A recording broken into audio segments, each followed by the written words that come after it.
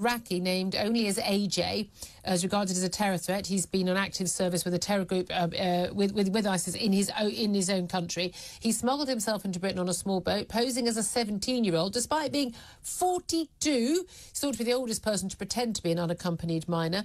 He's currently staying in a three-star hotel along with other adult migrants uh, as he appeals his decision on legal aid to have him deported. I mean you know, he, he is known to have been an ISIS fighter. He's smuggled himself to the country. He's already lied about being underage. I mean, I can understand a 20 year old being able to pose as a 17 year old, but a 42 year old?